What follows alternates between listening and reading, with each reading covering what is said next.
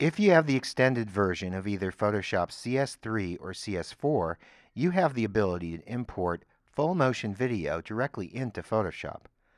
To do this, launch Photoshop and open the video file just like you would open any other image. Photoshop will show you the first frame of the video. To see a timeline, navigate to the Windows Animation menu. You can now either scroll through or play your movie.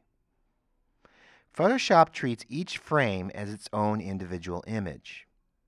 To apply a filter across all the frames, navigate to the Filter menu and select Convert for Smart Filters. Now you can use the filter gallery to process your video clip.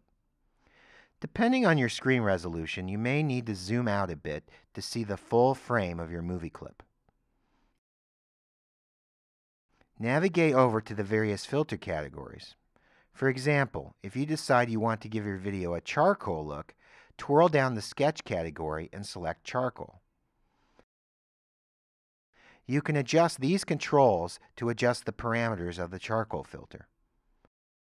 Press the OK button when you're done. To create your final movie, navigate to the File menu, Export, Render to Video. This will bring forward the Render Video dialog box. You may want to change the size and or video codec that is compatible with your video editing system. In this example, I'll use the Photo JPEG codec.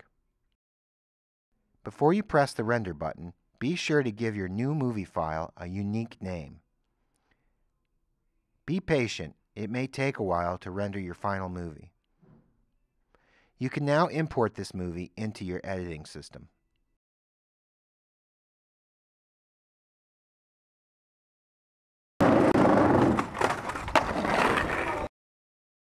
For other great tips and tricks like these, or to enroll in a training course, visit geniusdv.com.